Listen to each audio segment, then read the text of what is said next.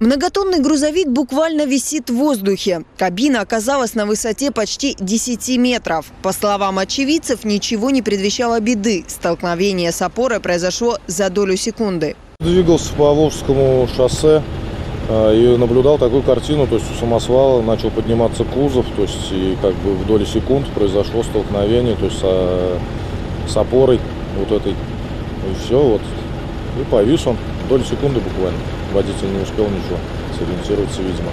За рулем машины находился 56-летний мужчина с почти 40-летним стажем вождения. Водитель не пострадал, но из кабины его пришлось эвакуировать с помощью пожарной автолестницы. Чтобы убрать грузовик, сначала ограничили движение на участке, а потом приступили к демонтажу поврежденной опоры. На место происшествия были направлены пожарно-спасательные подразделения в количестве двух единиц специальной техники и восьми человек. Проводятся работы по ликвидации последствий дорожно-транспортного происшествия.